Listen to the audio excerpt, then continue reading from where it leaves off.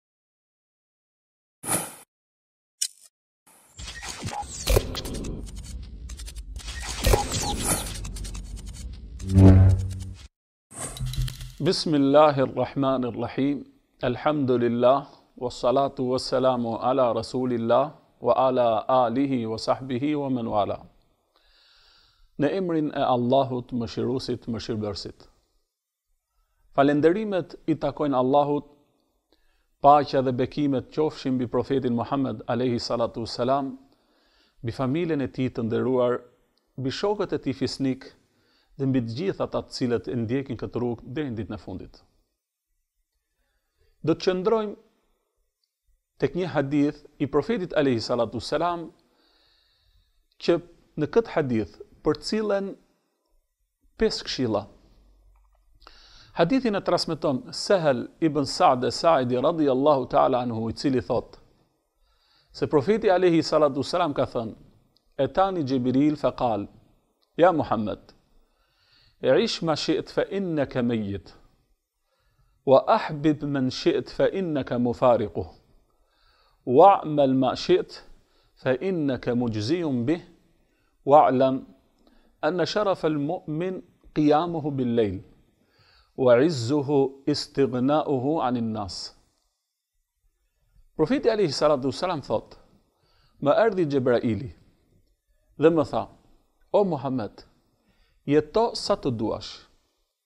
por ti një ditë do të vdesësh.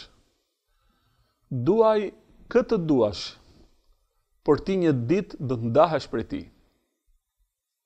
Puno çfarë të duash, por një ditë do të shpërblehesh për të. Prandaj, nderi i besimtarit është namazi i tij gjatë natës.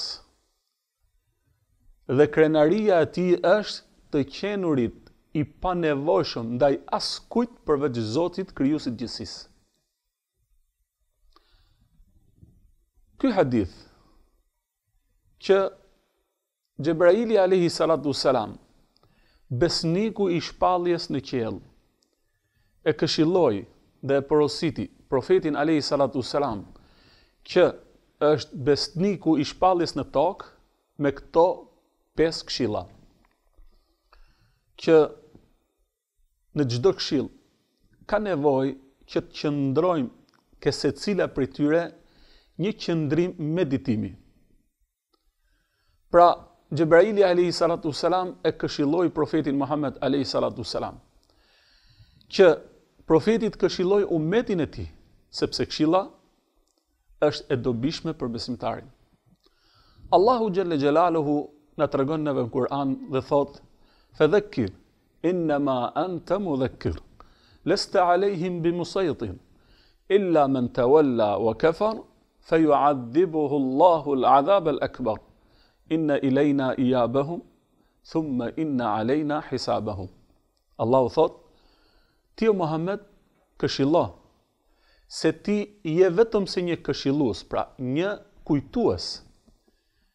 Ti nuk je i ngarkuar dhe as nuk je i detyruar që t'i imponosh ata.